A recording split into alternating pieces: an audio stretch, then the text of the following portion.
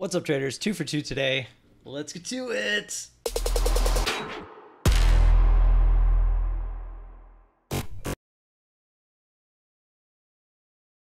Straight to the point. Today sucked. Uh, went two for two. Yeah, small because they were kind of forced trades. Um, SRNE kind of had a pop. It was a little bit grindy. Waited for a little bit of a pop there. Got short, went a little higher, added, got the, the drop. Was looking for much more.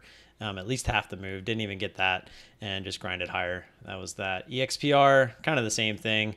Previous resistance here at the whole dollar. Got a nice little pop through. Got short got the bottom of that pullback, and then unfortunately it decided to try to go higher, even though it now is going lower. So, um, good example of when something will grind and eventually go higher versus something that will go try to go higher and then pull back, right? What what it does after that pullback, after we get in, we don't know what it's going to do, right? Which is why we don't care about it. Um, obviously, we will try to get more of the move, but if it doesn't want to give it to us, then so be it. 3,000 subscriber giveaway down in the description below if you want to go check that out. Um, that's all I got for you. See you guys tomorrow morning. Don't forget to like and subscribe. Peace.